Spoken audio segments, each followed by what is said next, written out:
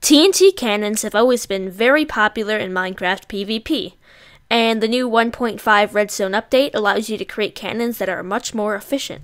So here's a little design for a cannon I've made that fits inside of a 3x3 area, only uses 3 redstone dust, and here's the kicker, can be built in under 30 seconds. So in a little bit here, I'm going to show you me building it in under 30 seconds, and let's try it out.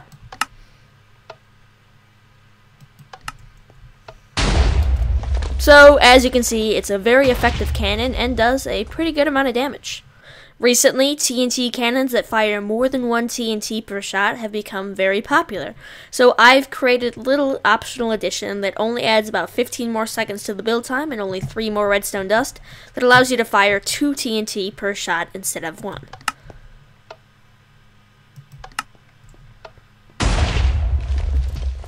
Also very effective and deadly. Alright, here is the 30 second tutorial. Before you begin, I recommend that you maybe do some cardio, like some jumping jacks, or do some stretches so you're all ready to build. Before we begin, here are the materials that you will need.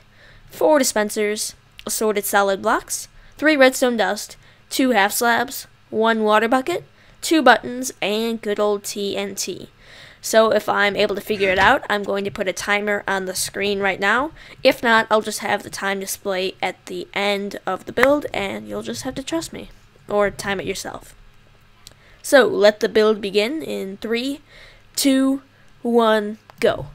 Place dispensers like this with your water source right here, block it off with a half slab. Then place solid blocks here, here, here, here, and here. You need a button here, dispenser facing this way right here, button on the back of that dispenser, run redstone dust across here, hold shift, place a half slab here, fill all these up with TNT,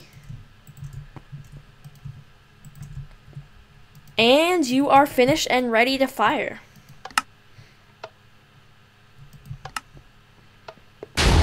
Boom. Alright, so I will have the final time display on the screen right now.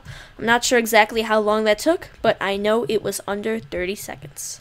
As I said before, to add the optional addition that lets this baby shoot 2 TNT per shot instead of 1, you're going to need 15 extra seconds and all of these materials here. 1 dispenser, 3 redstone dust, 1 half slab, 1 solid block, and some good old TNT. So plop these babies into your inventory and get ready to build in 3, 2, 1, go. Break this block, place a dispenser, block on top, half slab right here, dust, dust, dust, TNT in here, and you are done. So we can fire it.